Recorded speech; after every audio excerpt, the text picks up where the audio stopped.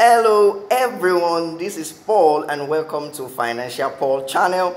And in this channel, my YouTube channel, I'll talk about how you can start with the little you have and grow, I mean in your finance, how you can make, manage and multiply money. I started with as little as 3, 5, let's say 5 or 6 years ago and now I've been growing to 7 figures. So this, what I want to talk about today is how you can grow your finance. And do you know how you can grow your finance? Number one tip on how you can grow your finance is to subscribe to Financial Paul channel and learn information because I will be posting some information that you might not get somewhere else. And today, somebody wants to tell you something in few seconds. I have David that wants to tell you something in few seconds. Hi, hello guys. Hello.